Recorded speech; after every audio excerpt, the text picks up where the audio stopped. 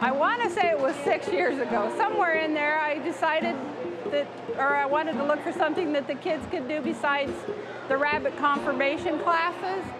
Well, it's basically just a small version of a dog agility. And I found online some videos of kids doing this in Canada. Pretty much just having your rabbits go on a piece of carpet where we have many obstacles. We have teeter-totters, jumps, hoops. And then they end on a big platform. I just kind of make sure that we have a place to do it, and if they have questions, I try to research it. It's the kids mostly doing it, the kids and the parents. Like I said, I resigned five minutes ago. Somebody, one of these other parents can do this. We're down tonight to do the rabbit agility course to show people what it's like.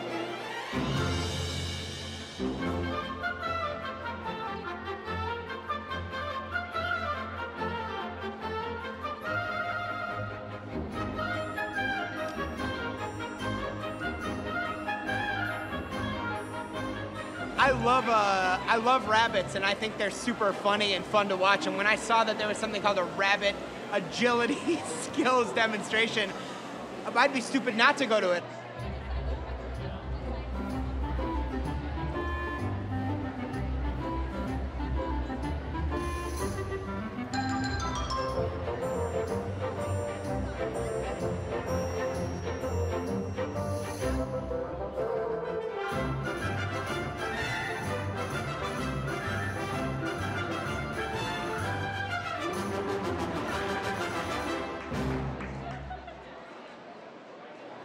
It's like dog agility.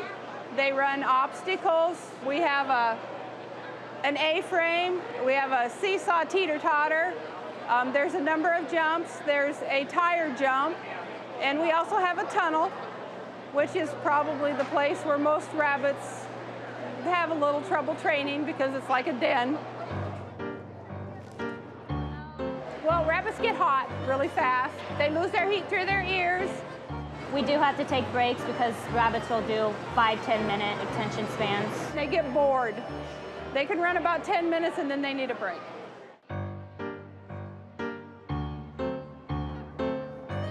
The first hour you probably work with them and getting them on a leash is just getting them to go forward. No. He's slow, very slow. We have harnesses and leashes that we can use on them. Done this a million times. Come on.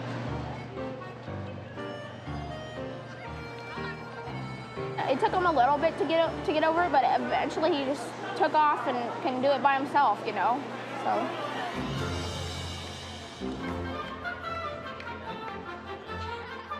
I think it's cool, kind of. I came to watch it because I've actually raised rabbits my whole life, but I've never seen an agility competition. uh, I came here mostly because this guy, he's a big fan of rabbits and small creatures like guinea pigs. I've always heard of it and just never been, and my friends and I thought it would be a great thing to come out and see. You know, it's really fun. We, I think that on our trip home tonight, our kids are going to be trying to figure out how they can build something like this in our yard so that we can come back next year and do something like this. So I never knew this was possible. So this is pretty cool. Yeah.